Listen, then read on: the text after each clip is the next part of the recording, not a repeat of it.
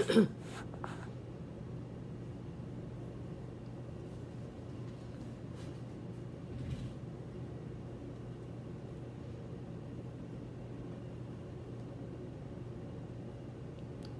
it's already going. Okay. well, good morning, everybody. This is Minister Gloria Harlow Drummond. I want to share a video, and I can't do it justice. But anyway, um, it's concerning prophets, the role of a prophet, and. Uh, so, to my son in law, Michael, I want to thank you very much for uh, sharing Sister Betty that video. That video. So, anyway, uh, this is Valentine's Day. This is the 14th of February of 2022. And the title of it is uh, Prophets and Their Roles, basically. So I'm going to get started on this. I forgot whenever I pushed the thing, it automatically starts starts rolling. So I'm not talking very loud because everybody's asleep. The time is uh, about 10 till 6 a.m. So I'm going to try to do this right, hopefully I'm going to turn this around.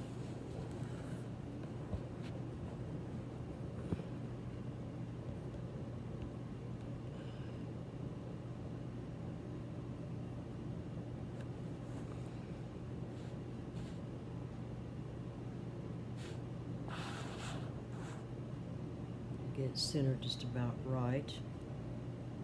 Alright, here we go. This is my son-in-law and my uh, Michael Rager, and my daughter Joycey.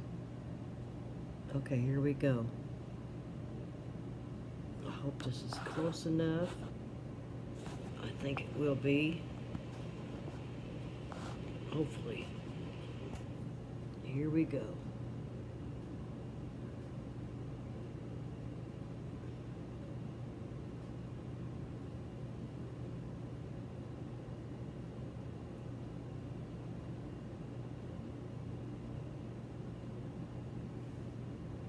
Think it's going to be okay. In the name of the Father, the Son, and the Holy Spirit. Oh boy. We're live, dear.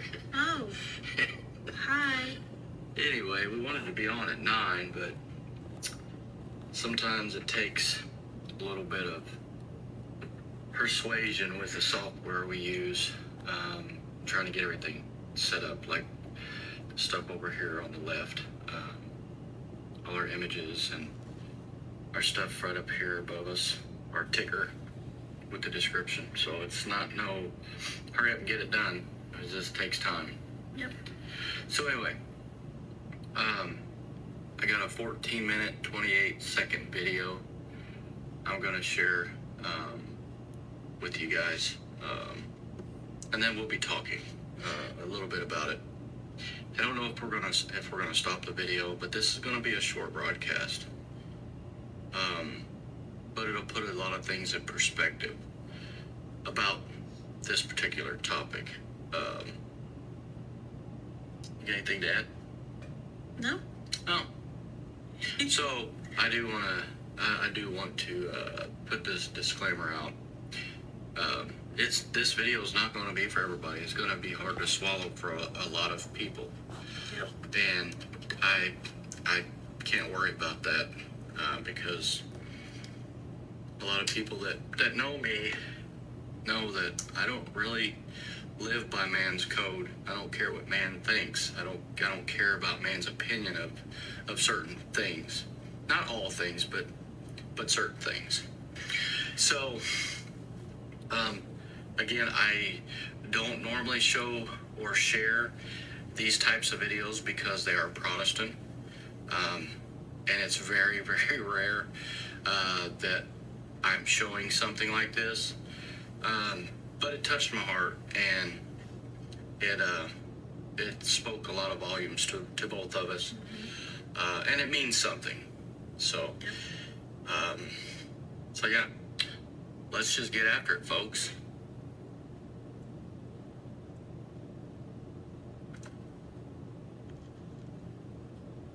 Hello, greetings today. I'm coming here once more. Um, I'm coming away from what I was doing. This one, this particular um, video that I'm making may not be for everyone, but it will be for some. And um, the Lord has been speaking with me today, February 12th, 2022, and on before that to get this out. And so that's what I'm going to do. So here we go. This is a warning. And I'm going to go ahead and put the put this, just a few scriptures I have to go with this. I'm just going to put them in the description box with everything else I put in here. Warning, here we go. And a prophet is not welcome in his own country. Some say in their in his own hometown. This is what the Lord spoke to me. What is a prophet or a prophetess? Speak they speak divine revelations from God. And I just wanted to give you that. I'm going to read the warning. Here we go. The Lord says, I am calling my prophets and prophetesses to come in, as I have much to say to get close to me. I have much to say. This is the day of the Lord, which is at hand. Things have been taken, and they have taken a very serious turn. Not yet seen, but I have seen. Prophets, prophetesses, rise up, call assemblies, call the people back to their first love.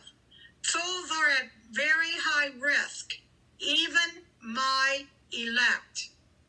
Warn while there is still time. Warn. Open your mouth, prophets and prophetesses. Do not hold back. Do not hold back. Do not falter. Some will listen, meaning prophets, to their flesh. Come out then, as I say. This day is a call to all true offices of the prophet and the prophetess. And then I was given all this, and I'm going to give it. You can take notes, or you can just read and go back to the. Um, um, if you didn't get it all and understand it, go back and listen to the video. What I, I just spoke out. What does a prophet or prophetess do? What are their what are their um, what is their authority? What is what is a true man or woman of God that is called into this office? As I said earlier, they speak divine revelations from God. They spend time in the wilderness, many times in the wilderness with the Lord, to always hear directly from God. So they spend much time with the Lord. Prophets or the role of prophet and prophetess do not put themselves above anyone. They think about others. The role of a prophet are all about souls, repentance, and the true gospel of Christ. The role of a prophet and prophetesses is warn, warn, warn. Many are not well received because they are always so serious. Because they do, they scold.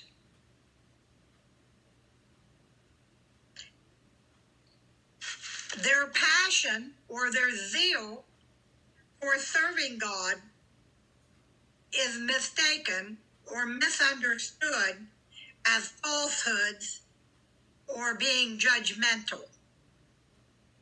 The role of a prophet or a prophetess looks neither to the right or left because they are in tune with God.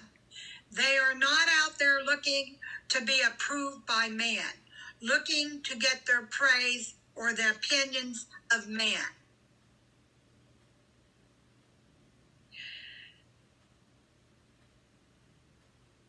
Many times God speaks to us through prophets and prophetesses.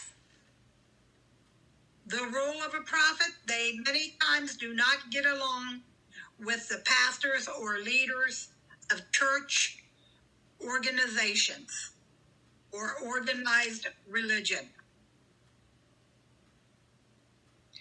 Prophets and prophetesses are isolated much. For the most part, they do not need a lot of people surrounding them, and they spend a lot of their time with the Lord. So some people might consider the prophet's life as lonely. And I'm sure it is to some extent. But what God is telling me here is what I have written and I'm giving to you so that you can have a little better understanding. They do not need to engage in a lot of idle talk or socializing, and they do not engage in debates or a lot of beliefs or chatter. We'll go through these as soon as I'm done here a little bit. They do not need, prophets and prophetesses do not need the approval of man or their credentials. They do not need to be approved by man.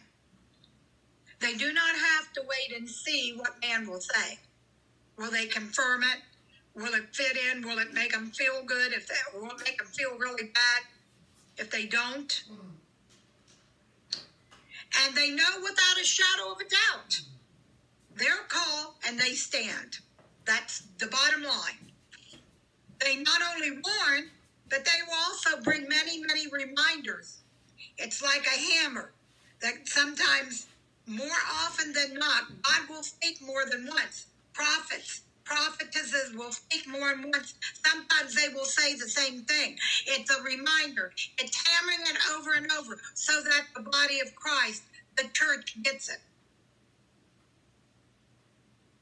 And finally, they are not fortune tellers of any kind in any way.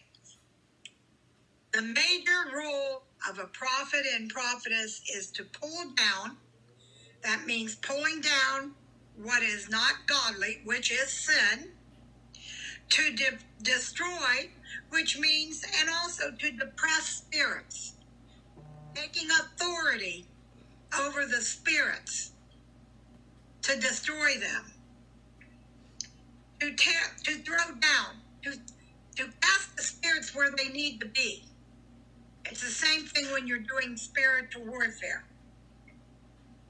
They do not go on opinions and beliefs. And finally, they also come to bless, build up the body of Christ, and plant. They do that. Planting the Word of God in people so that they have a word.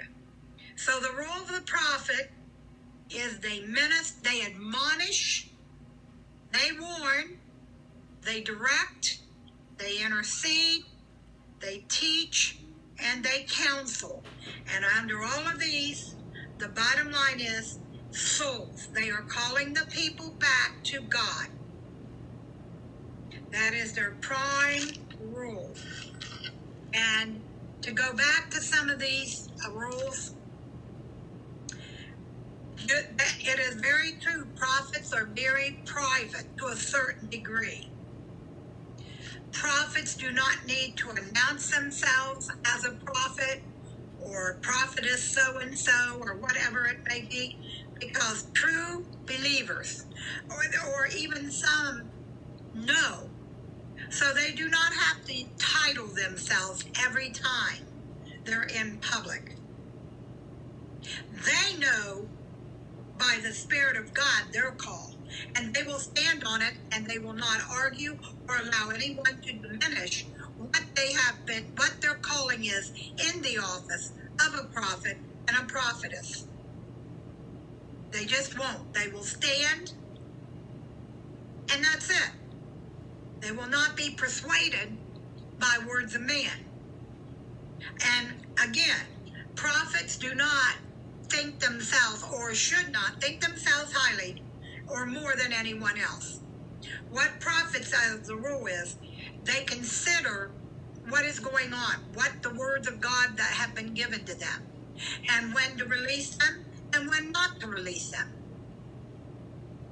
And they consider everything that God gives them. They don't just go out and spew out things. God also is saying that He recognizes that, of course, as the Word of God says, there are a lot of false prophets. There's a lot of false agendas. But God is trying to get us to see here today that it's very important now. There is a time now. These prophets and prophetesses that are truly called of God are being called by God right now to come out. There is something that God wants to do or prepare you for now.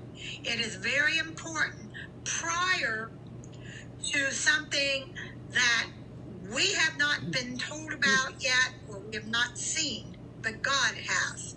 In other words, He knows and He has seen it. And so my understanding is when that is said, we need to pay attention, prophets. We, we need to pay attention. And we need to go out there. Wherever He calls you in the wilderness, wherever that is, we need to be hearing now not the chatter going on around in the world, all the not that all that, not all the chatter on emails, chat rooms. So no, this is different.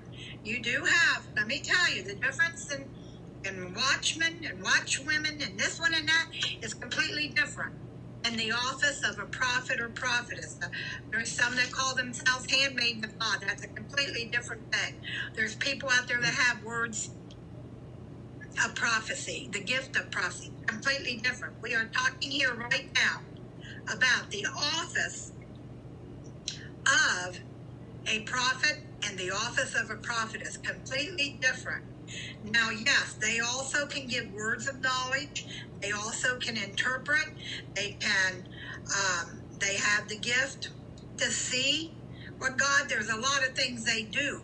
But the primary Paul of a prophet and prophetess is the ones that I read. They warn, they admonish, they correct, they do not stand for foolishness. Yes, they are very serious because the call and the responsibility that they have calls for seriousness. That does not mean that they do not love the people that they are called to. They have to love all souls or they could not do the office that they've been called. They could not do the calling. The callings are very serious. So, right now, God is calling. This is not for everybody, as I said earlier, but I was told to me to put it out immediately. So, this is what I'm doing. It's an urgent call from the Lord Himself, calling once more prophets, office of prophets, office of prophetesses.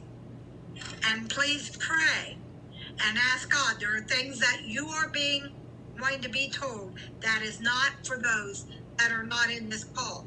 And therefore, they will not understand. Many people do not understand the office of a prophet and a prophetess. So, I'm leaving it there. Thank you for watching. God bless you. I'm going back into prayer. We will continue to pray. We will continue to uh, see what God is doing. We're going to continue um, coming back on as the Lord leads. It's time to warn the people. Warn. It's very heavy. Was this message about warning and admonishing, no matter what? And I'm going to be bringing some things as the Lord allows. So God bless. Shalom.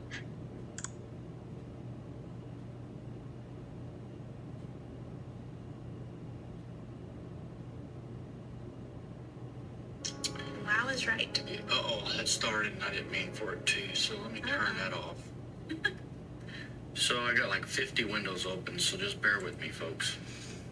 And before uh, I go any further about this, I've got to tell my brother, shut up, stupid. Um, it's just an inside joke. Cue the laughter anytime. Yeah, you can cue the laughter. so,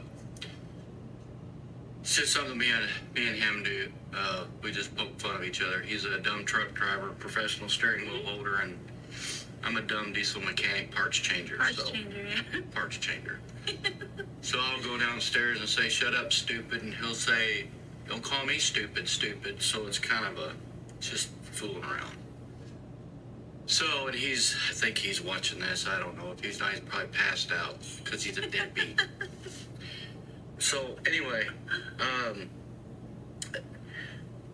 I got a message earlier about this particular video, and, and uh, the person that I was talking to, which is my mother-in-law, knows how I feel about certain videos from Protestants. Um, it's not that I don't like them. I just Cautious. I'm very cautious. Let me let's just say that. I, I kind of I'm very very cautious. Because there's so much BS. There is there's there's so much BS, and I can I have enough discernment and wisdom to. There it is. There it is. Shut up, stupid. I have I have enough wisdom and discernment um, to know that who's full of it and who's not. And I'm I, I'm very serious about stuff like that. If I, and and my mother-in-law and I, well, I haven't, but she's really really had a hard time with my position on a lot of things because um, I'm very outspoken when it comes to truth. And she butt heads with me and tell me, you know, this or that. And, you know, it just pretty well went one ear and out the other because she didn't understand who I was. And she will also tell you, one of these days we'll have her on as a guest. But, you know, how old people are in technology, um, it don't work well for some people. But she'll tell you that the things that I've told her have come to pass and things about certain religions, if you will, um, has turned out to, to be true. Uh, not because I'm tooting my own horn or patting myself on the back because I'm nobody. I'm, I'm just, that's just how, that's my whole demeanor. I, when, when God gives me something or shows me something and He tells me the right time to release it, I do it. I'm not going to get on social media and start prophesying like these these jokes on uh, Facebook and YouTube about prophesying in a person's life and ha- having a prophetic word. That's not. That's not just like this lady was was saying. Her name's Betty. Um, there's there's no there's no boundaries, if you will. Like I could give a prophetic word right now if I was a Protestant and calling myself a prophet. Um, and if you watch these so-called prophets who have the title, they'll start giving a prophetic word to somebody, and it's normally when I get a prophetic word or um, a vision, it is like this big. It's it's not very informative, if you will. Most time it leaves you with more questions Yes. than answers. Yes. Um, but these these prophets that are all over the internet will say, okay, um, Ed, um, I see blah blah blah, and then they'll pause. They'll have a brief pause, and then they'll go off on a tangent, feeding someone's flesh uh, about something that should have been this much information Adding more to what? adding more adding more to God's word, if you will, if he's even getting a word from from God. Um, and yes, there is a point to this, so just bear with me. Um, so that's not how a true prophet conducts himself. He's very cautious. He only says what needs to be said. And if it leaves people hanging, then it's up to that individual to go before God and, and pray about it. it's not up to me to pray pray for the situation. I just have to release the word. Um, And sometimes it can have multiple parts, and Sure. only some of it's given to you at a time. Sure. So I'm going to show you guys something. Um, and this is, I don't know if people are going to believe it. Um, I which- was there. which I'm again, and and just like she said, we don't care about people's opinions. We don't care what people think of us. When God gives people a word that is a true prophet, I, I don't go by prophet. God gives me things, and He always has since it really started happening in, in 1995. Um, but it happened earlier, like in my youth about six or seven years old, I started seeing things. I, I didn't know what they were. I, my family never went to church, and if they did, my, my parent, well, my mom went to church just to be seen because she thought she was she had to be seen. And but anyway, that's another that's a whole another episode. So she and I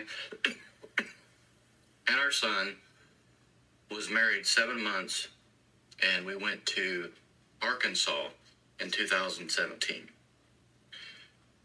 Too long down the road on 412. I used to live out there. Just Yeah. preface that, so Yeah. I knew where all this stuff was. Yeah, um, Siloam Springs to be exact. Yep. Um, so Highway 412.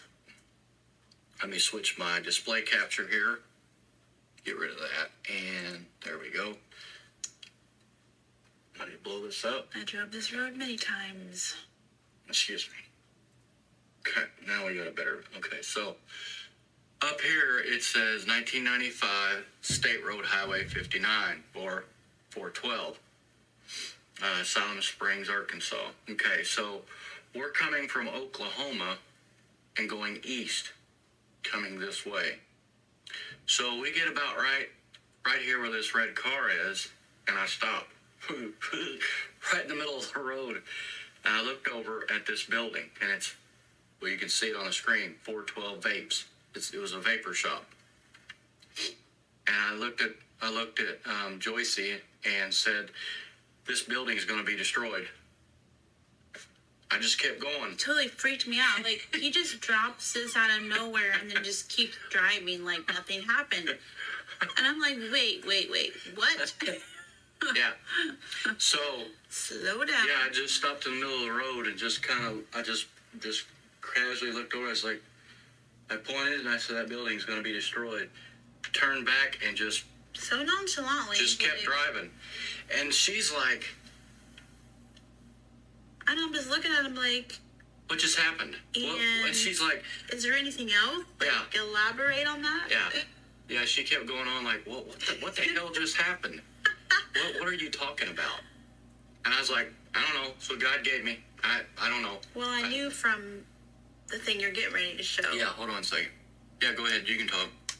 anytime that he's had visions or anything whenever I've been present, I could always tell by the look on his face that Something's about to happen. Something has happened. Yeah. He's seen something.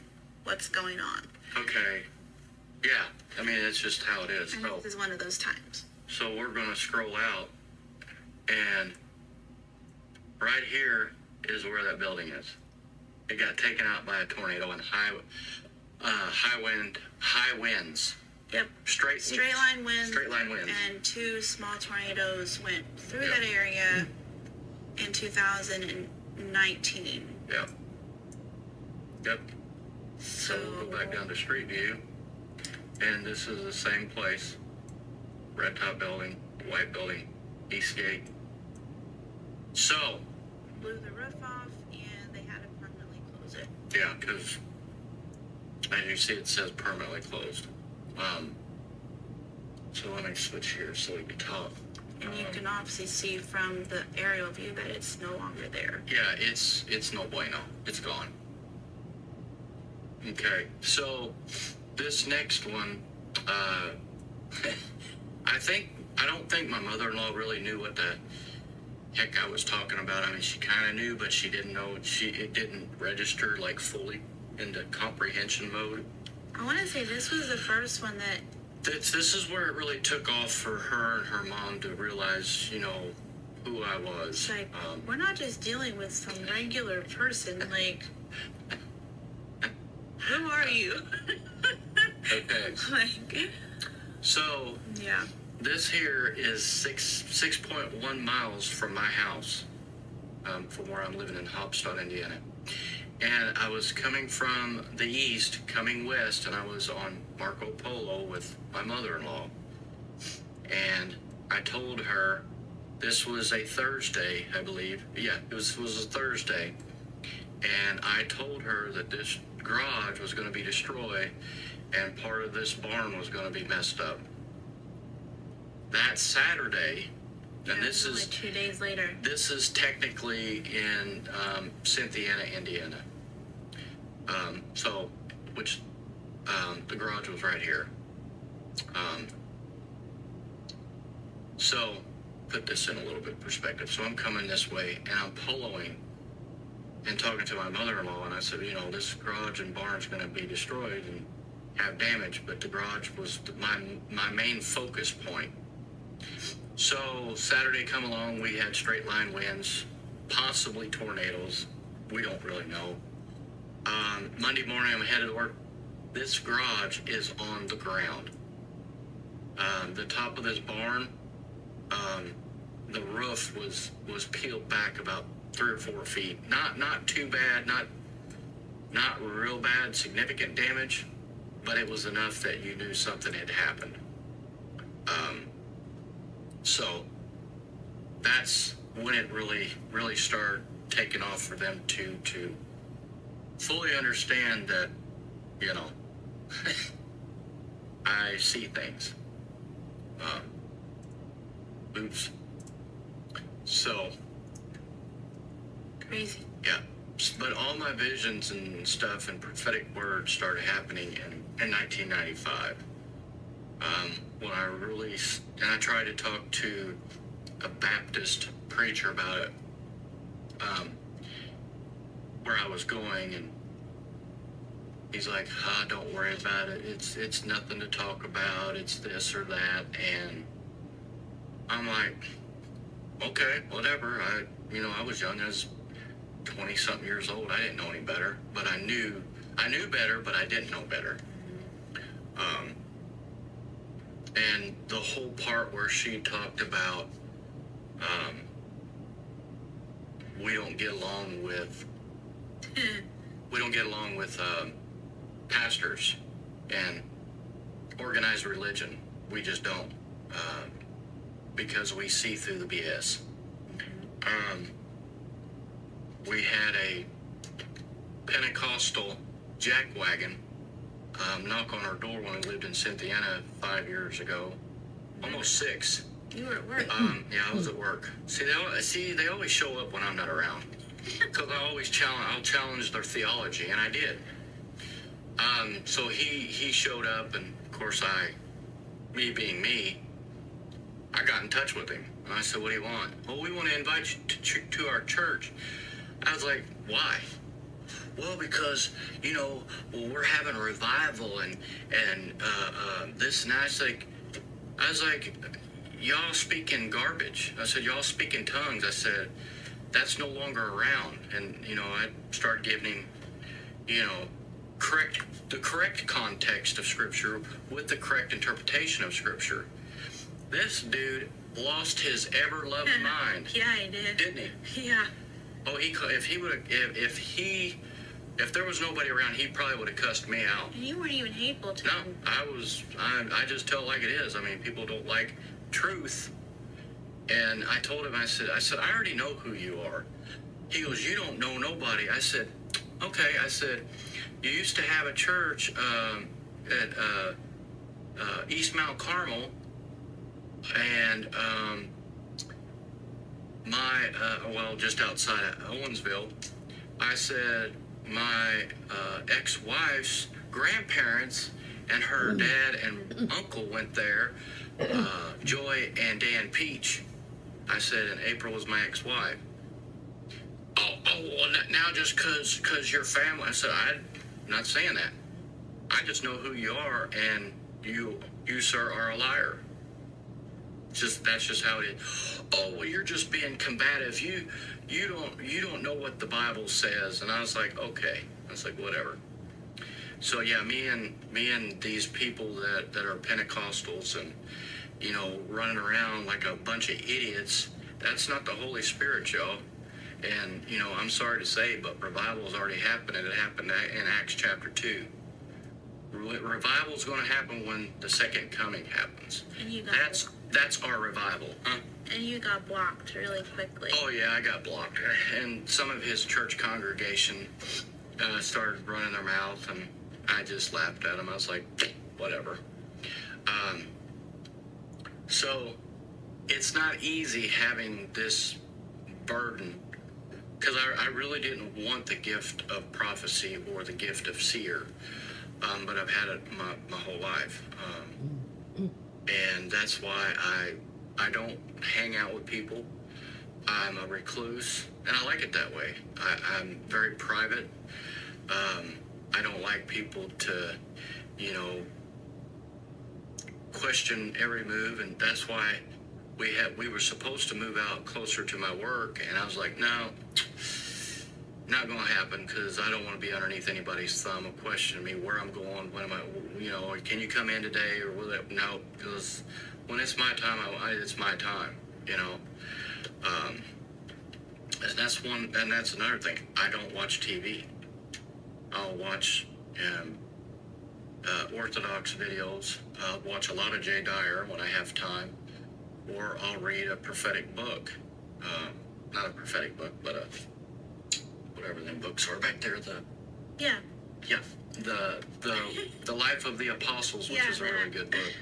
Um, then, Something that feeds our minds Yeah. and our souls. and the other book is the homilies on the Book of Revelation, which Protestants can't interpret the Book of Revelation, so uh, they, they can barely interpret um, Scripture. But that's another that's another uh, issue, uh, and I, I love these people. They're just walking in error, and they they're just they just don't know it. Um, so anyway, back to our little show Back here Back to the groovy movie. back to the groovy Remember movie. that? I hope you all got. I hope you all got some popcorn. Okay, so in one of my one of my visions, um, this is uh, Oak Grove Road and I sixty nine going south towards Evansville, Indiana. And one of my dreams or visions, if you will, excuse me, um, I was parked along along this road and standing on this overpass looking south to Evansville. This is Evansville, way back here.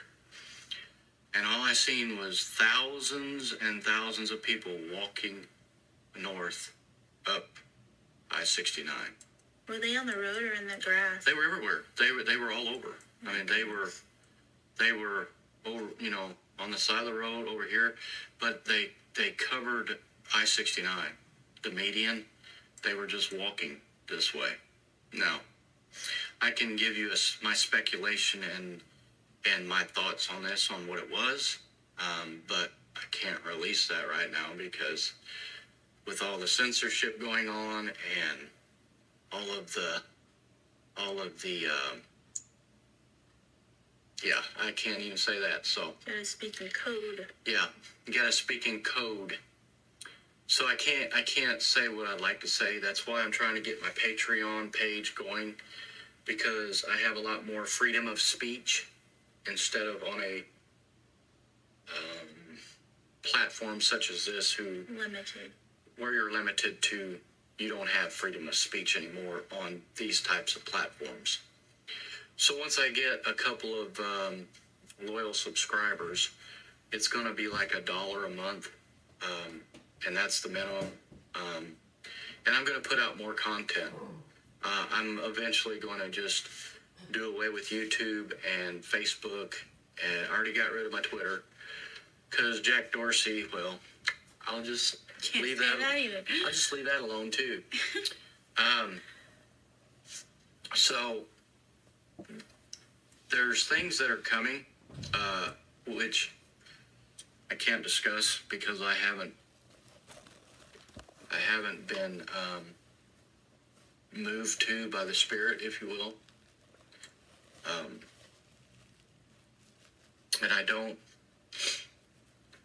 I don't get on here to pat myself on the back because I could care less if I'm on YouTube, Facebook, or whatever.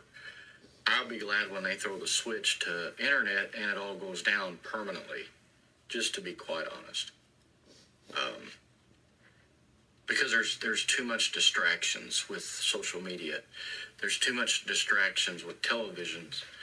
Uh, I mean, yeah, I have a laptop and I, I have two big monitors, um, only for reading purposes and broadcasting so I can pull things up. But if people would just, you know, quiet themselves inside and in their minds and focus on more alone time, reading scripture, reading a good, you know, a good book from the church fathers, having that relationship with God and His Son and the Holy Spirit, and you become quiet inside, you start to know how church fathers and monks and priests live because they are very quiet people, reserved people. And that's the power of the Holy Spirit. We don't have to go out here and dance around and flop on the floor and cut a rug in a, in a Pentecostal Holy Ghost dance, like they say, which is unbiblical, by the way. Um, we have to learn to quieten ourselves, get rid of all the distractions, the white noise, if you will. Um, that's why I don't go anywhere. I hate I hate going in public. I definitely hate driving to Evansville. I, I can't stand it. It makes me ill. If I want to go to the river, I'm on my own. Yeah, you, if she, I mean, I'll go to Evansville every once in a while, but that's that's where our church is. Yeah. Um, but if like Walmart, I don't even like going to Walmart no more because they're I don't like Walmart either. they're affiliated with um, what's his name over in the CCP land. Um, so, which whatever.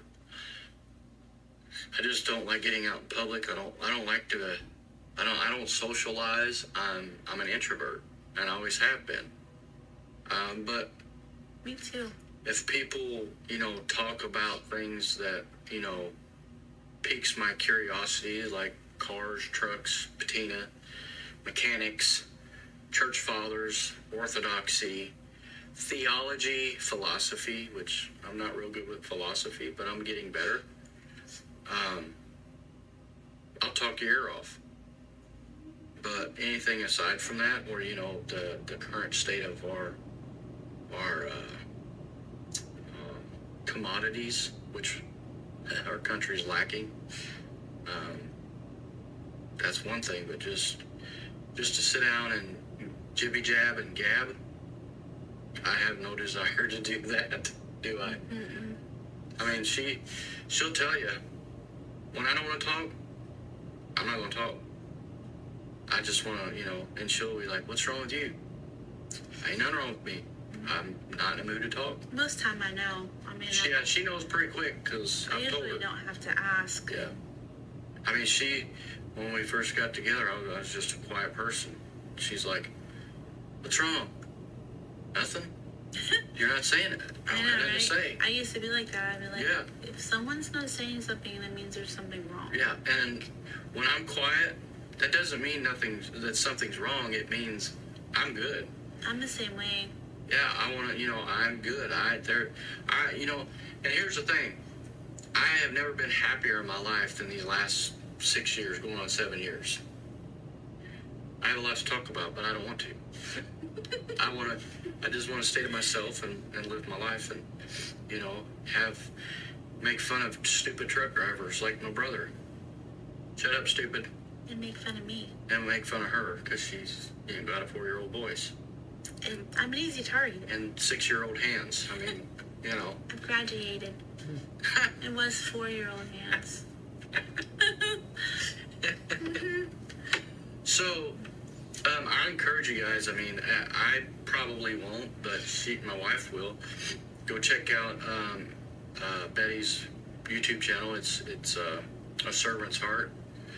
Um, you know, which I'm I'm blown away by that video. I watched a couple of her videos, and you know, I just I can just tell certain things about videos. Uh, not to take any way, anything away from this lady, because she comes from a, a very sincere heart. Um, but there's just some things that I don't agree with, um, and I'm not even going to get into that because it's not even worth it. Um, but that video was it, it hit me in the heart, and uh, I just wanted to I wanted to share that um, because everything she everything she said in that video, I agree with her 100% because she was on point on every step. Um, especially how how we're we're outspoken about truth, and we'll we'll you know basically stop at nothing to achieve truth, whether it hurts people's feelings or not. We're, we're not we're not in the business to um, hurt people's feelings, but if people's feelings get hurt, then that means you've been convicted, and that's that's just that's just the way things are. Uh, it's not that I'm being mean or or hateful or spiteful. That's that's just how it is. I mean, I get my feelings hurt all the time when I do something wrong, and I upset my wife, and she breaks out the skillet, which she hasn't done in a while. But you know, it's it's called conviction. It's called accountability, and you're not going to find that. I better stop. I better stop. So, anyway, uh, guess we're gonna end this. We'll go to bed. Tired. Six days a week work is getting old, Yeah. but it is what it is.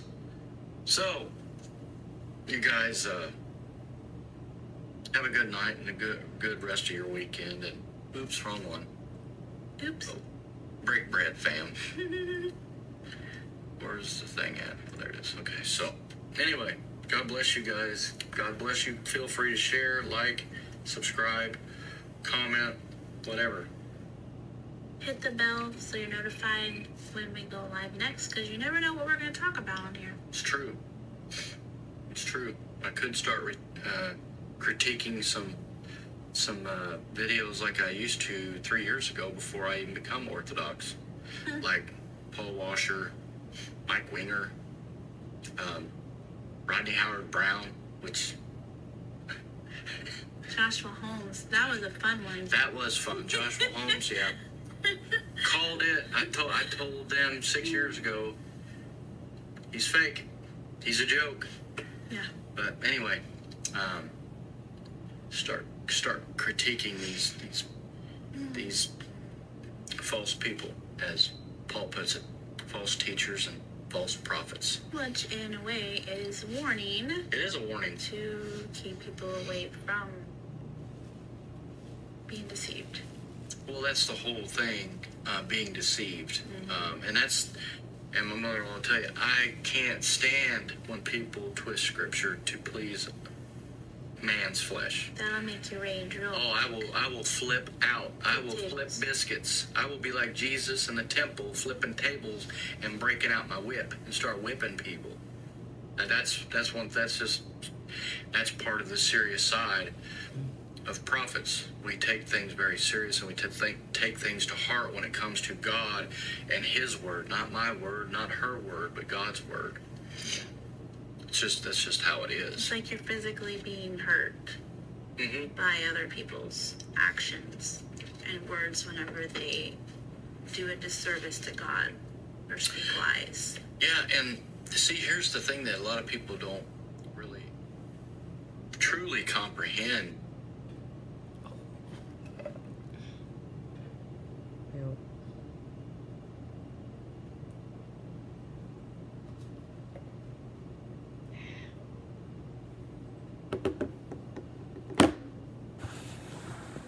Well, I was hoping I could get through that without anything happening.